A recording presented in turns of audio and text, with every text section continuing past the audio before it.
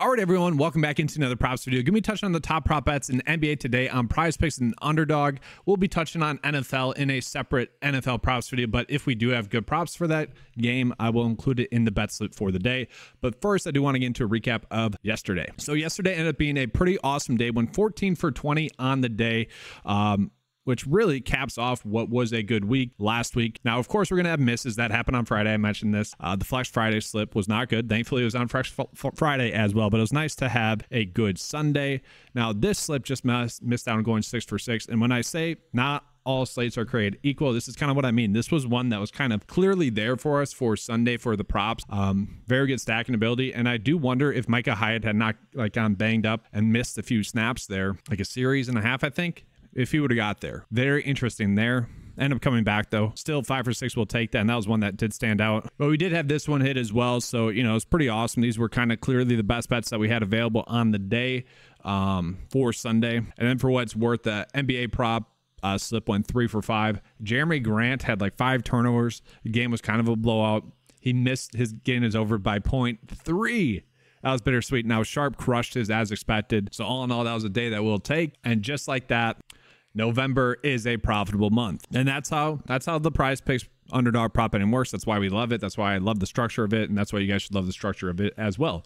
But let's go ahead and get into this slate. So, NBA, we got a lot of games. So, I'll try to be as quick as possible. Dallas first, Orlando. This could be a good game. Um, Wendell Carter is out in this game. And so that could potentially create some value for us in terms of like maybe some bets that we can be on. Uh, Markelle Fultz, currently a game time decision as well. And then Gary Harris is also out as well. So, that could potentially create some value for us on this slate. And so, I think the expectation is that we won't know what's going to happen with Markelle Fultz right up until lineup lock but thankfully that's the opening game. So you can kind of prepare for it in two ways. So we know he's probably leaning more towards out, I would assume, but he says we can expect Cole Anthony to get a little bit more work, but it's going to be Jalen Suggs that would be the starter. Jalen Suggs has been the one that's benefited, and he's been someone that has actually really rewarded me the last two slates. Um, he's been someone that was popping up like fantasy score wise the last two slates. And if it's at 22 again, which is what the line had been at the last couple of days for his fantasy score, that's something that I like. And like we look at the sample size from this season, with Fultz and Gary Harris off the court, it is Cole Anthony getting a little bit more minutes, but Jalen Suggs is kind of the one that's a little bit more reliable because he'd be the one that we, we would expect to start. Now, with Orlando, because it is very much dependent on that news for Markelle Fultz in terms of some of the prop bets, we're not going to get those, which is unfortunate. But like the two that benefit the most would be Suggs and also Wagner. Wagner was someone that stepped up into a bigger role. And we also know that uh, Wendell Carter is going to be out as well. So at least with Wendell Carter out, we can actually get a good sample size of what we should be looking at. Now, full or sorry, Wagner is someone that sees about a 4% bump in usage, but a 12% bump or 12 bump in fantasy points scored. And I think that's just because they run him out a little bit more with the bigs and then Banchero as well, because they're not going to get Mo Wagner that many minutes. He's going to be capped at 20. And then also Goga as well is someone that actually got a surprising amount of minutes, 26. And if he's someone that's going to start again, if we can kind of project him to get 20 minutes in this matchup, he's someone that could go for a double double. And if he has a low points, rebounds, and assists, let's say a 15.5 or so, I actually might be betting the over there, given the matchup with Dallas. Dallas is a team that you want to target via the bigs. And so with Wendell Carter out and with Goga expected to start, if we can get him 20 minutes, he should be able to produce at almost a point per minute basis. But once again, we're not getting those prop bets, so it's tough to really spend that much time on it. Let's go ahead and move on to the other side of this game, which would be Dallas. And again, guys, it's it's the tough part about doing content. Uh, we're not getting any props for Dallas just yet. Now, I find that to be kind of strange that we're not getting any prop bets for Dallas. I'm wondering if they're thinking maybe Kyrie will be a strange like DNP in this game coming in off the back end of a back to back. I'm not really sure. That's a strange one to me that we're not getting those props. And really, because of that, we're probably not looking at anyone at all. Now, Grant Williams was someone that popped up for over fantasy score yesterday, and he has been a little bit undervalued by the market thus far this season, given his role with the Dallas Mavericks. He's basically their number three,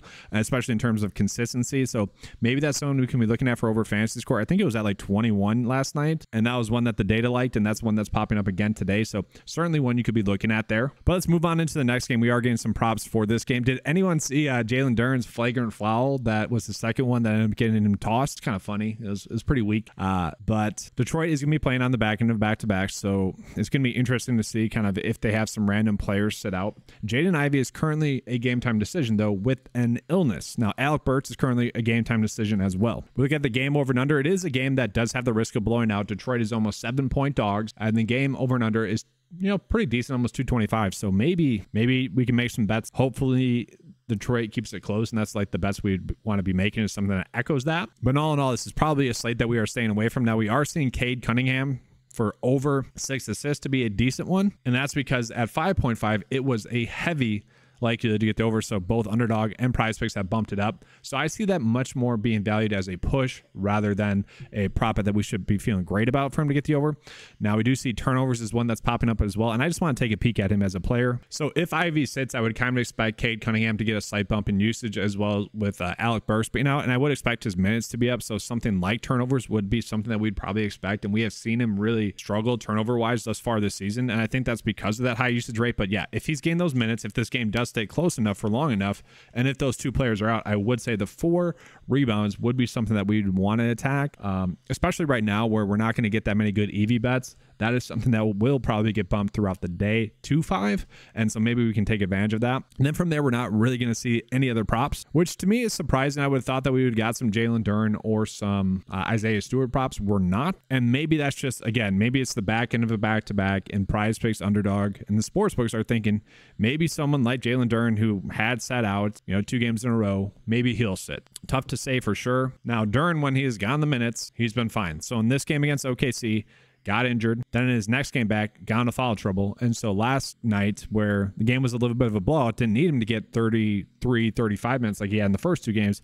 He still had a solid day. So if he's going to be active in this game, I would say maybe points and rebounds is something we can, you know, use. I think, I think if it's at like 20, 21, we could bet the over there. Anything higher, maybe a, a stay away. But the matchup with Golden State is not one I'm too worried about. Like Kevon Looney is not really going to hinder their production at all. So we'll go ahead and get into Golden State, seeing if we are getting any good props for them. So looking at the Golden State Warriors, we do get Steph Curry for over 4.5 assists, another one points, rebounds, and assists, rebounds. Um, but yeah, really the one we want to attack is going to be Curry for over 4.5 assists. Now that'll be one that I'm assuming is going to get bumped, but let's just take a peek at if it's still plausible at five. Yeah, probably not. If it's at five, we're staying away because that'd be a push. But against Detroit, maybe points, rebounds, and assists. But again, that feels a little bit thin at a 51% likelihood to hit. So again, we'll go ahead and move on to the next game. I am recording this video a little bit earlier than I typically would. My three month year old is asleep right now, so I have time to uh, do it right now and got to take advantage of that. So uh, we're not getting all the full allotment of props that we typically would be getting uh, if I were to do it an hour later. But looking at this next game, we'll go to Spurs Indy. Now, guys, this game is a game that I think we should be stacking. Yes, it has an eight point spread. That is a concern. Don't get me wrong. Kind of surprised that Indy is an eight point favorite, but 238 for an over and under. That is highly intriguing. And if the Spurs can keep it close enough for long enough, I am going to enjoy that game. Now, we do need to get news on Devin Vassell. If he is out, we're going to see the usage shift to Keldon Johnson like it did last night, like expected. And so, again, we're not getting any props for that game because I do think you know, having a high usage rate player like that currently questionable is something that they need to wait and see on, or else the lines that they put out might be terrible. We did see Malaki Branham step up into a bigger role with uh, Vassell out, and that is something we would, would expect. That is something we saw last season. That's something we should expect this season. I think we can project him to get right around 25 minutes as long as the game stays close. And he is someone that might be disrespected by prize picks or underdog if they come out with those lines for us because they have other players there, Tre Jones, Sochan, Keldon Johnson, Wemby, and also Zach Collins, that he could kind of be a forgotten guy, where his role was kind of what we would expect from him, maybe a little bit more shooting efficiency than we would expect, but he was coming in off of a bunch of poor nights of shooting. So it's no shock that he finally had a better night shooting. Uh, good matchup. I do think this is a matchup we want to be attacking. Jeremy Sochan has been someone that's been a little bit too inconsistent for me to trust, especially because he's not really making that many baskets. So I'm probably staying away from him. If you're looking at a prop for him, it would probably be if we can get uh, rebounds and assists at like eight and a half or even nine. Maybe nine and a half would be too high. But yeah, at nine, I still probably would bet the over. At eight and a half, I would definitely bet the over for him. From there, Tre Jones has been someone that has been playing close to 30 minutes per game in games that stay close for the most part. And I think with Vassell out, we're going to see him get those minutes as well, like he had last game. And if that occurs, if we can get his prop line of assist at a low number, that is something to me that's going to be very interesting. And so with uh, out the court, we have seen Branham get 92 minutes. He's the guy that, you know, we kind of expect. His per 36 production is 15 points, four rebounds, 3.9 assists, and the steal. Okay, we can expect that. But the next player up, and it's very close, is Tre Jones who averages 13 points per 36, 4.5 rebounds, and 7.7 assists. Now, I don't think we can project him to get 36 minutes, but I do think in a game that's supposed to be a close game, we can expect Tre Jones to be involved still especially given the minutes report that we have here. And he is someone assist wise, I do think we'll probably get a good number on uh, because the data so far this season isn't really saying huge assist guy. Now he's had two two really big assist games, Houston and Phoenix, but for the most part, that could be a sneaky good one. And then yes, Keldon Johnson is someone that you know was expected to step up into a bigger role against Toronto. That is exactly what happened. Um, you know, was very good at shooting the basketball in that game. This was the Keldon Johnson that I expected at the start of the season. Okay, maybe not the two steals for sure, but I think there's been a little bit of a figuring out phase. But going against Indy, I do think he's someone we want to be looking at, and he is someone we can bank on to get minutes. Okay, he had 38 minutes in that game against Toronto. It was a close game, and if you look at his per 36 production with Vassell off the court, it might not be a big bump in production, but I think we can kind of just lock in the production. He averages 21.2 points per 36, 4.8 rebounds, 4.3 steals, or 4.3 assists and he averages 18 shot attempts, and that's huge. We saw him get that exact number last game. And so, in a very intriguing game, if we can get his points prop at like 20 point, 21.5 or something like that, I think we'd be fine betting the under. I'm very curious as to where the lines come out for that team. And for what's worth, Wemby has been someone that's been extremely consistent. I do think, depending on what his fantasy scores, we might just want to be betting the over there in, in a game like this. I think I'm fine with that. Zach Collins, I don't know if we can touch him, does get a good matchup though, and he played heavy minutes the last couple of games, and that is intriguing. So, in games that stays closed for the most part, part, except for that game against Phoenix, he has been able to get some minutes. And so that is something I do think we can be interested in. And that's where I'm like, all right, we probably are going to want to game stack this game. So now we go ahead and get into the other side of the basketball. We got the Pacers, and obviously the Pacers are going to be probably a better spot for us. We are seeing Tyrese Halliburton for, for over 15.5 uh, points or assists and rebounds is probably one that we want to be looking at. And I, that's I'm fine with that. He has been someone that's been a you know highly efficient contributor. Uh, you could be looking at Miles Turner for over rebounds and assists as well. Those are two pretty good ones.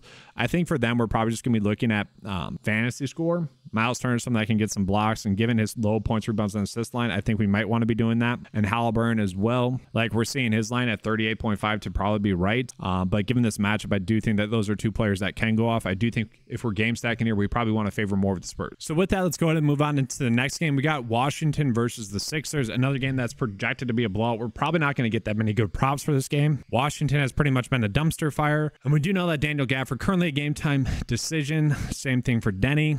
Um, if those two sit, that's really going to create um, probably a stay away. This game would be even more of a blowout then. So, yeah, Kyle Kuzma, if if uh, Gafford sits, is going to expect to start at center. Maybe Mike Muscala, but it's going to be ugly. Okay.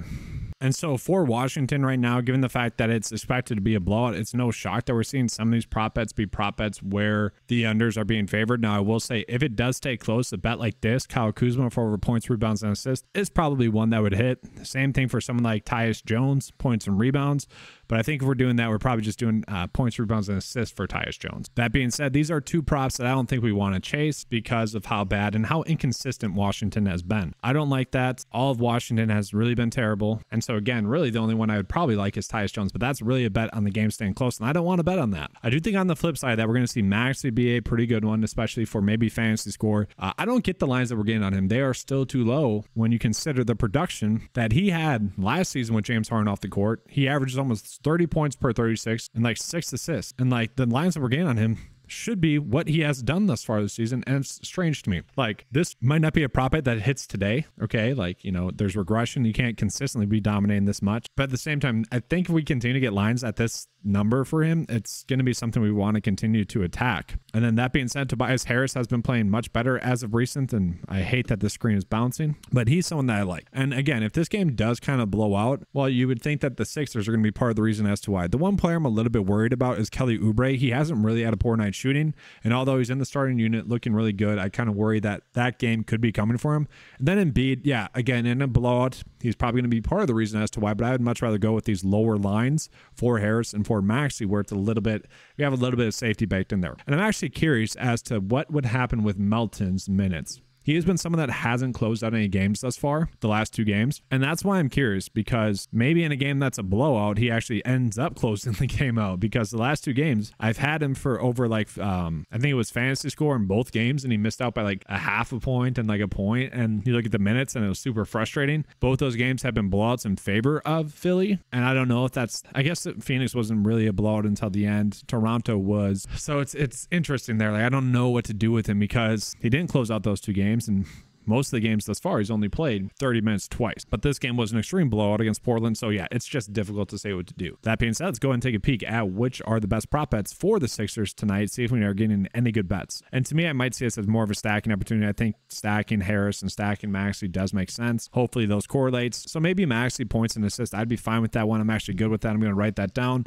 That has about a 52.3% chance to hit. So, again, guys, I want to keep echoing this home. The thing with NBA, at least right now, especially when I'm doing these videos, is that we're not getting that many great EV bets. These are much, very much game theory based bets. And we can see right now that this would be a much better bet on underdog we, where we are getting a half of an edge there. You know, that could be the difference between hitting or not hitting. That happened with Jerami Grant last night for me for fantasy score. So that little stuff can add up. But I do think, given his production last year and this season with James Harden off the court, this line is just simply too low. And let's just take a quick peek at him in games that have been blowouts. Obviously, a really good matchup against Washington. That's why I like him. But yeah, the only game in which he didn't get there was against Toronto. Played 40 minutes in that game that was a game in which he really didn't do anything in the first half, and it was very much just Tobias Harris playing really well in that game in the first half. And then the second half, Maxey was a little bit more needed, and he produced. So it's just kind of a weird game where he took more of a backseat role in the first half, and then obviously tougher to get there in that game. But yeah, I think I think we got a good spot there for them. Obviously, the worry is the blowout too fast. Moving on to the next game here, we got Los Angeles versus Miami, a one point spread,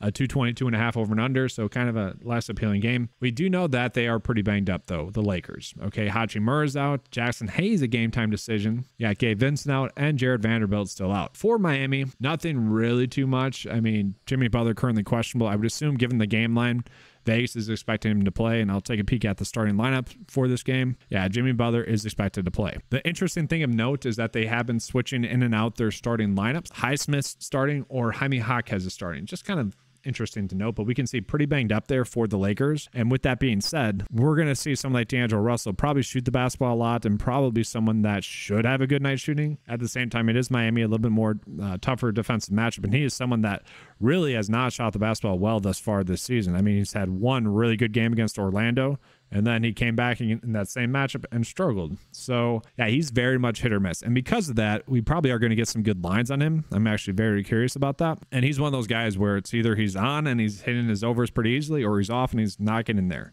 Very frustrating. And so, yeah, I would say that this line is probably too low given the amount of shot attempts he's going to put up. Like, he's probably going to put up at least 17 in this game. And we look at like the usage rate and everything with Gabe Vincent off the court. It's not like a big sample size. It actually is 150 minutes going into this. Russell does see only a 1% bump in usage, averages 17.6 points, 3 rebounds, 5.4 assists, and about 16 shot attempts per 36 with him off the court. And we can predict him to have those minutes off the court. Now, we do need to toss in those other players as well. And so, with those other players out, he sees a little bit more of a bump in usage and a little bit more of a bump in shot attempts. So, all in all, that we know with him, it's going to be whether or not he's he's shooting the basketball well. Austin Reaves for over 3.5 assists is the best prop bet that we're getting for the Lakers. Does feel a little bit too thin for me. And really the rest of the bets that we were getting for them are a little bit too thin. Maybe Christian Wood is someone we could be looking at if a prop bet arises for him because he's someone that should be forced into some minutes if Vanderbilt and if Hayes sits. Obviously, he's someone that is a good point per minute producer. And so if those players sit, he's probably going to get 30 minutes. The line will probably be lower because it's a matchup against Miami but he's most likely going to be going against the Miami's backups, so a little bit easier for him. I would say the line probably will be at like nine and a half points, and I would maybe favor the over there. I'd probably want to do rebounds and points for him though. But again, that's kind of speculation. Let's go ahead and move on to the next game. So looking at the next game, we got the Bucks versus the Nets, two teams that have kind of been headaches. Now, the Nets were a team that were projected to get blown out a couple of nights ago, and I was like, I don't know if I see it that way. Uh, two players I had talked up in that matchup were on the Boston side of it. Porzingis, and Brown. They end up getting their overs, and then the Nets players that were good values ended up getting there as well. So I hit a six for six slip, and that's kind of why I go through this process, guys, because we don't always know what's going to occur, but we can kind of prepare for when the news drops. And so looking at it for the Nets, we know Nic Claxton is still out. Lonnie Walker is currently a game time decision. That could be big, okay? And then Cameron Johnson is still out. So we still have a lot of their big producers still sitting out in this game. And so that being said, like someone like Brook Lopez should be able to feast in this game, given the fact that the Nets are not running out a big. And so I want to see if we're getting any good prop bets for Milwaukee, specifically for Brook Lopez. That is what I'm looking for. And you know, we're not exactly getting that, but for Giannis, we're getting 11.5 rebounds as a very favorable prop. And so that is something we could be looking at. I don't think that that is too thin at all. I think that there is some actionable takes against that because obviously Brooklyn, they don't really have a big. And so the issue that we have with him is that this team has been so inconsistent. And so the reason why we are getting that line where it is is because of the fact that the Nets do not have any, you know, really big bigs to negate that. I would rather get um, Brook Lopez in some capacity. We can see his rebounds is at five and a half. Probably don't want to touch that. I think the one we'd want to be going in on him is this points and assist prop at 12.5 five if he's able to take advantage of the matchup. And I do still think we should be kind of taking the wait and see approach with the Bucks. They are still in a figuring out phase. But Brook Lopez, I don't know what happened against Toronto. I know they got just absolutely blown out in that game. That's a game where I kind of just write off. And so in every other game thus far this season, he has gone close to getting this over or has gotten the over. And so to me, given the fact that he should have a better matchup, that is one that I like. And again, guys, these are all better bets that I would say on the sports books because again, on prize picks and underdog, we want to be shooting for a 54% chance to hit. Anything lower than that, they make for better individual bets on the sports books because the payout is better and the percent likelihood is obviously reflected in the odds that you are getting there. Um, from there, we're really not getting that many props. I do want to take a peek at Khris Middleton's uh, just minutes report because he has been someone that's been extremely efficient, not playing that many minutes. So we did get up to 21 last game. And so if that is something that's going to continue, maybe maybe his points and assist prop at 14.5 is not a terrible one. And that's simply because if he gets a little bit more minutes, still shooting the basketball 10 or so times, and a lot of his shot attempts have been pretty open, and the Bucks just look better with him on the court. And obviously, if he gets a little bit more minutes, that's pretty favorable for us. So not terrible, but all in all, it doesn't look like we're getting too many elite prop bets there just yet. Let's go ahead and move on into Brooklyn. So with Brooklyn, we know Claxton's out. We know Cameron Johnson's out. We get that. We are seeing Ben Simmons for over 8.5 rebounds is a decent prop bet. I don't know if I exactly agree with that. Let's take a peek at that. Now, I do want to pull up their starting lineup. Like, he is expected to start at point guard tonight, whereas Finney Smith is expected to be the center. That could flip. We might see Cam Thomas jump into the starting lineup. Like we don't know for sure what's going to happen there, and that's what's annoying about the Nets in some capacity. But I don't. I think that would help his rebounds honestly if he uh if he is playing point guard because then he's not matched up against Lopez or Giannis, and maybe they're doing this so he stays out of foul trouble. But that is a seemingly good line that we are getting eight and a half there for a guy that's gone that in every single game thus far, especially with Cam Johnson still out and with Nic Claxton still out. Like he's still going to get a lot of minutes. Uh, Cam Thomas is very much a game dependent one one, and this is one in which you could stack if the game stays close, like it's projected to. Cam Thomas is going to be part of the reason as to why. Cam Thomas is getting out there and just chucking guys, just absolutely chucking 24, 18, 19, 17, 19 shots up. He is just shooting the basketball a ton. And so when he's shooting the basketball well, obviously it's it's a pretty low line then. And if he's matched up against Dame a little bit, that is that's kind of appealing to me. Dame's been struggling. The Bucks defense has been struggling as a whole. Uh, I do think Spencer Dinwiddie could be in for a better game, but we're not really getting that many good prop bets for Dinwiddie. And this line for Spencer for Ben Simmons does seem a little bit too low at 23.5, but again, that's a better bet on the sports books. We move on to the next game here. We got the Kings versus the Rockets. Kind of a close game. Maybe this is a game that we can attack. Uh, we got to look at the injury report here. We are seeing that De'Aaron Fox is still out. Okay, so that's going to open up maybe some potential value here for the Rockets. We're not too worried about the players that are listed as out. And so what's funny about the Kings is when we look at last year data, we would have thought that Keegan Murray would have stepped up into a bigger role with De'Aaron Fox off the court. And it still kind of suggests that. And that is what has happened. The issue that we have seen with Keegan Murray is that he has not been able to shoot the basketball well the last few games. One for eight, zero for seven. He has been terrible shooting the basketball. And so I think last game, especially, we saw his production also be terrible across the board. You know, when you're having a bad game, shooting the basketball, it kind of tumbling effect into the rest of your game, especially coming in off of two bad nights. I don't see him having another poor night shooting, especially with a lot of those being open looks. You would think he would have a better night shooting. And so I would want to see maybe a points prop for him be one that's popping up, but at 15.5, it's probably a stay away. And like to me, that would probably be my favorite bet with them. But we also are getting Davion Mitchell for over 4.5 assists as seemingly a decent prop bet as well. We'll take a peek at that.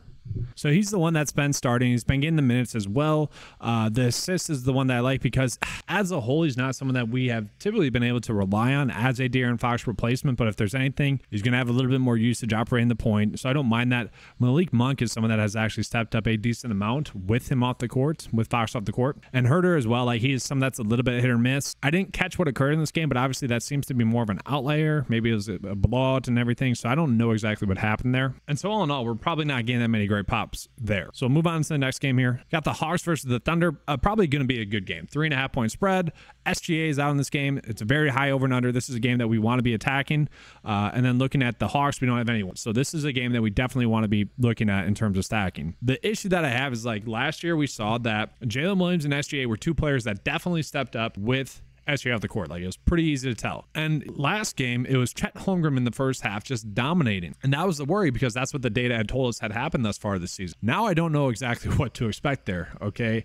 Um, because Josh Giddey and Jalen Williams both had really good second halves. And so it is a little bit risky there because we don't exactly know what's going to occur. So looking at OKC, let's just break it down. Like Josh Giddey, you do expect to have a better game, 31 minutes in that game. And that's that's the thing. He hasn't really been getting that many minutes. Now he did have six turnovers in that game, kind of sloppy there. And you would expect him to have more assists than he's been having. He's had a weird season. And for me, I probably just want to stay away from him, even though he's someone that typically speaking we'd want to look at with SGA off the court. Now, Dort is someone that did step up a little bit more, had a ton of points. We don't expect that. Nine for 12, six for six. I think we probably, I don't know, what is this points prop at? We are seeing points, rebounds, and assist prop to be something we, we want to be betting the over. I'm actually curious as to what his points are, though. 14 and a half. Yeah, I'd probably favor the under there. Like if we're looking for a bet in that game, I'd probably want to bet the under there. Uh, let's see other ones. Jalen Williams. Uh, I'm just going to sort by prize picks because I just want to see if we have the stack and opportunity there for those games. And I still think Chet Holmgren, I, th- I still think this is too low. And I'm very curious as to where his fantasy score is going to come out. I hope by the time I'm done with this video, we have the fantasy score props and I can refresh the data on my end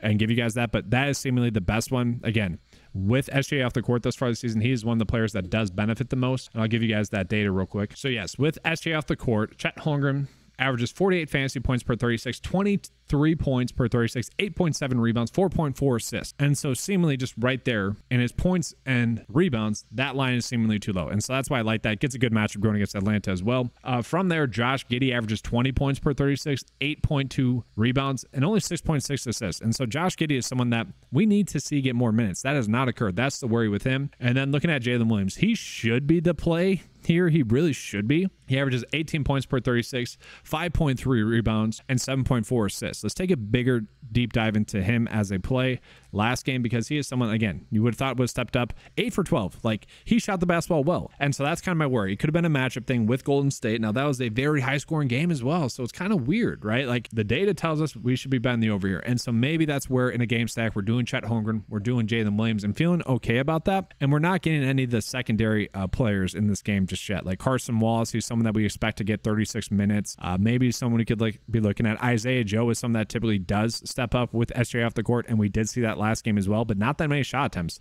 That's the thing with the Warriors. It almost seems like everyone else was shooting the basketball so well. Sorry, for the Thunder. It almost seemed like they were all shooting the basketball so well that players like Giddey, who struggled, and Jalen Williams didn't exactly need to you know, step up. And Chet Holmgren, obviously, that's a big role that he's playing. Do you want to call it that the other Jalen Williams was back? Good for him. Uh, and then let's look at Atlanta, seeing if we're getting any good prop bets for him. And the first one that stood out to me was actually DeJounte Murray's uh, points, rebounds, and assist prop. Now, the data doesn't like it, but I'm like, all right, if we see this game's the game we want to be going after, maybe we're looking at him for points, rebounds, and assists. And again, this is where I hate about NBA lately. It's that like all the prop bets that we probably would be going on on, they're not correlating very well with what the data says. So that's the annoying part. But DeJounte Murray has been a stud recently and really the whole season has been extremely consistent. So if this game does get a slight bump because of the high over and under and because it's expected to stay close, I do think someone like DeJounte Murray, who is shooting the basketball a ton, should be able to get there. And I'm not too worried about the defense of matchups that he has. So he is someone that I do like in a game stack for the over.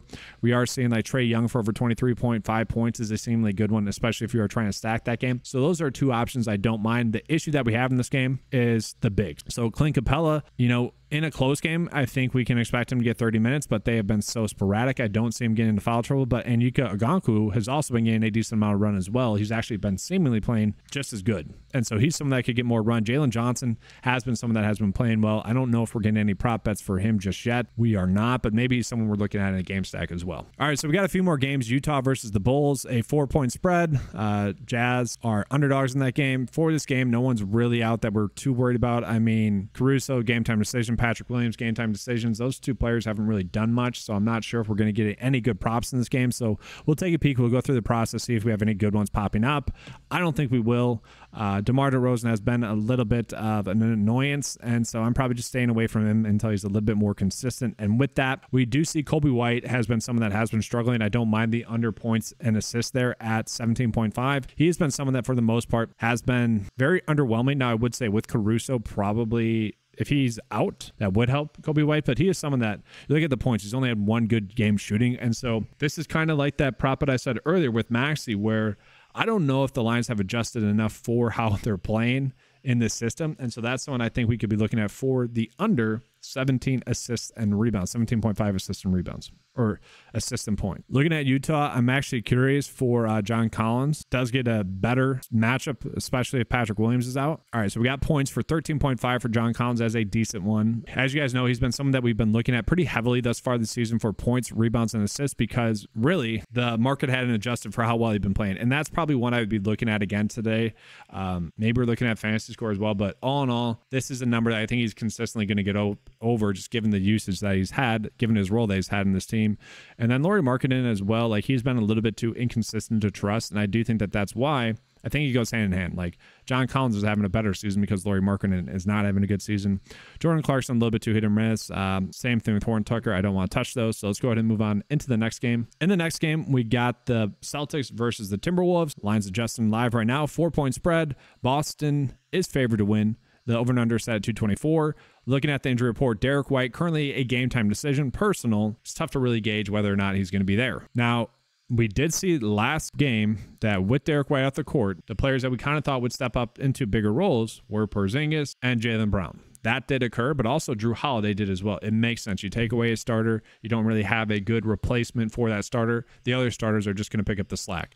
The reason why someone like Tatum didn't is because, well, he's already at the peak of his production. So I do think someone like Jrue Holiday for rebounds and assists being at that low number of 10 and a half, that could be something that we're looking at here. And he's someone in that last game, 9 and 10. So that is an extremely low line. And with Derrick White, off the court thus far this season, we have seen Jrue Holiday get the biggest minutes bump. He averages 16.7 points, 7.9 rebounds, and 6.4 assists. So that line to me at 10.5 is seemingly too low because he averages 7.9 rebounds and then 6.4 assists per 36 with him off the court. I do think we can expect him to get those minutes as well. So again, guys, this is a better bet on the sports books. We are very much not getting great EV bets just yet. And I say that, I'm going to show you guys the fantasy score props. Those have been populated into prize picks. Those are probably going to be the ones we want to go with, but individually, these are going to be good bets. And so that's why I kind of like stacking a little bit as well. But that is seemingly a good one that we're getting. And then from there, maybe you want to roll with Jaylen Brown for over rebounds and assists as well. It's not, does feel a little bit too thin. We are seeing that we are getting projections though for Derrick White. And so let's see the start projected starting lineup here. Game time decisions. So very interesting. And I do think this is like risk reward, guys, because we could run out these overs for Jaylen Brown and Jrue Holiday, knowing that we're getting a very good edge if Derrick White sits. And I don't mind that approach. That's that's a risk reward thing that I do a lot in NBA. And so looking at Jaylen Brown, his per 36 production with White off the court, 28 points, 8.7 rebounds, and two assists. So the assists we can not expect to really be there. But the line that we're getting on him for Derrick White or for Jaylen Brown was at nine. And so he's averaging almost nine rebounds. So that's seemingly a good one there as well. We did see that Al Horford was the a very big beneficiary to Derrick White being off the court. And I'm actually like, I would expect him to start if Derrick White's off the court. Like we see this projected starting lineup for them right here. It would just be Jaylen Brown shifting down, Tatum shifting down, and then Al Horford playing the power forward spot. And or you know, maybe the center and Porzingis playing power forward. However, they want to attack Minnesota. It doesn't really matter going against Minnesota. That's kind of a mute point. And because they're going against Minnesota, I don't think I want to touch Porzingis. So we'll move on into Minnesota there. And so looking at Minnesota, uh, Rudy Gobert under 11.5 rebounds is seemingly a decent bet. Um, talents for over points, rebounds. I don't think I want to touch those guys. And honestly, given the matchup, I don't know if I want to touch really any of these guys. Maybe Anthony Edwards uh, rebounds. No, I don't. I don't. So it's just the matchup based thing. I, I don't really trust. And I think with Al Horford being active in that game, it actually, one, it makes sense going against the two bigs. He probably will get minutes regardless. And I just see that as more of a stay away. So again, we'll go ahead and move on to the next game. The last game on the slate, we got the Pelicans versus the Nuggets. This is seemingly going to be a fun game, especially, nope, CJ McCollum's out. Okay, that just that happened last yesterday. Interesting. I did not see that. Jamal Murray's out as well. So definitely an interesting game. We're gonna have to spend some time on this one. 220 for the over and under, a six point spread. Let's get into this. This is a fun game. I did not see that news until I started this video. So, with Jamal Murray off the court, who could we be looking at here? Okay. We see Aaron Gordon's rebounds and assist prop is one that's kind of popping up. You look at his per 36 production, and I don't know if we can bank on him getting 36 minutes. He does average nine rebounds, though, and 4.7 assists. And the reason I say we probably can't bank on his minutes at all is he could get a bump, probably not. And his minutes have been for the most part, very sporadic. Now, 35 minutes in the last two games. And that to me, again, I feel like that's a better bet on the sports book to bet the over, especially the fact that they are favoring the under there. That's a very interesting line that we are getting. So, probably one that I'm staying away from. We do see that Reggie Jackson actually gets the most minutes with Jamal Murray off the court. So, I'm actually curious if we're going to get any props for him. Reggie Jackson per 36 with Jamal Murray off the court averages 14.8 rebounds, 14.8 points, 3.1 rebounds, and seven assists. Now, again, we don't think he's going to get that many minutes, but definitely a player that should get a bump in production. KCP probably going to get uh, locked into more minutes. He averages 19.1 points per 36. He's not going to get that, guys. Uh, 1.7 rebounds and 1.3 assists. Like his role is a defensive player, he averages three assists or three steals, sorry, per 36. And so are we getting a KCP steals prop or maybe blocks and steals for KCP? Because that'd be what we'd want to roll with. We're not steals. KCP, please? No but definitely something to look for if that pops up. Then the next one we are seeing is like Michael Porter Jr., maybe Aaron Gordon for over points, rebounds, and assists. I kind of like that one. His production per 36, and we did see the last couple of games that Aaron Gordon has been getting more minutes. His per 36 production is 29 or sorry, is 16.7 points, 9.4 rebounds, and 4.7 assists. So, given that, given his projected minutes, I would say that he is a good candidate to get that over. Michael Porter Jr. doesn't see a big bump in minutes with uh, Jamal Murray off the court, so I don't think we can really bank on that. So, does feel a little bit more thin than we would have thought. The biggest bumps in usage actually go to KCP. Yeah, it's basically to KCP. Maybe that's something we have there. I don't I don't know. I don't really like it. But maybe honestly, I think it could be worthwhile for KCP to only be at 10.5 points when we look at his per 36 production being 19 points. It's a small sample size on the season. Don't get me wrong, but there could be something there, especially if he is picking up a little bit of point guard work there. Interesting thought. But we're probably just going to see Reggie Jackson picking up that work. On the flip side of that, we got CJ McCollum out in this game. In previous games, it had been um, Brandon Ingram being out, Zion being out. So it's very interesting that we are getting CJ McCollum out. And it's, I would say we're not going to have a big sample size as to what to do with that. But we are seeing maybe Herbert Jones for over 3.5 rebounds. I'm actually curious who's going to start at point guard for them. Dyson Daniels. Interesting. I would I would expect Brandon Ingram to get a bump in the usage instead. Uh, and I'm I'm hoping that the data says that as well. We saw that last year, and yeah, so Brandon Ingram gets a 10.7 bump in usage with CJ McCollum off the court. We look at his per 36 production with him off the court. This is a very small sample size, guys, but 30 points, 10 rebounds, 6.2 assists. We take a peek at last season's data. I'm going to put it with Zion on the court. I can't do that. Never mind.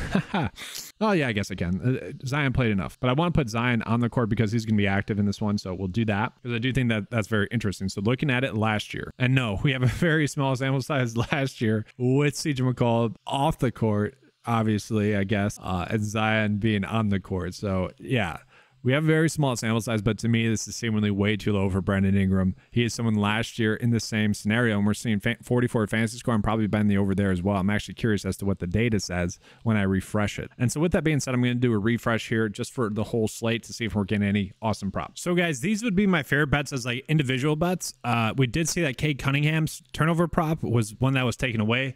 I could see that one being brought back just as an FYI. So that is something I think we could be looking at there. Uh, and then looking at these ones as well. Um, Maxey, I, I, just think he's being undervalued now that game could blow out.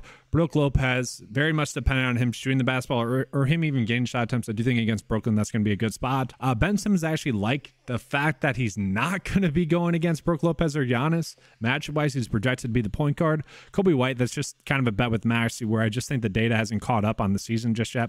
And then Jrue Holiday, this did get bumped from 10.5, so less appealing for sure. But this is very much a bet on Coby White being out. And sure, can still get there if he's not ruled out, but it's definitely less appealing then. Now I'll show guys my bet of the day. And yes, guys, this is what I wanted to see. Brandon Ingram, I said I like for over 40 fantasy score, and the data is telling us that as well. Yes, that is something that hasn't occurred too much. So we do see Michael Porter Jr. under fantasy scores when that's popping up. I don't love that. Zion Williams under fantasy scores one that's popping up as well. He's definitely been inconsistent. I don't know if I love that one either. And so really today, Maxey, that still feels too low for him. I, I would maybe rather go with that. Tobias Harris, this one is definitely too low. Um, let's see here. Yeah, guys, I'm just gonna say like Harris over fantasy points and Ingram over fantasy score. Take a quick peek elsewhere. If you guys want to toss in these bets, you can. There's they're bets that kind of correlate with how tonight's expected to go. We'll take a peek at discrepancies real quick. A couple of discrepancies there that we're seeing. NHL wise, we're getting a seemingly good bet with Alexander there and also Evan Rodrigues. So two decent bets we got there.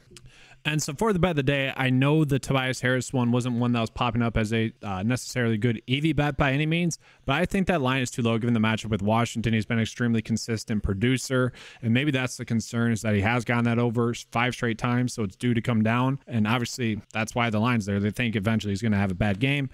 Uh, but Brandon Ingram with CJ McCollum off the court, he should be able to crush this number. Um, usage is going to go up, and I think we're fine with that. And then the two really good ones that we were getting for NHL currently is the over shots on goal. Hopefully, those are still there by the time you guys get there. That's going to be all for this video. Hopefully, you guys enjoyed the coverage. Make sure to give a like and subscribe. Do appreciate it. If you guys want access to the 9to5sports.com uh, cheat sheet for both underdog and prize picks, click the link in, in the description below. It's available for just $10 a month. Let's have a good slate. Thanks for watching. As always, let's keep cashing.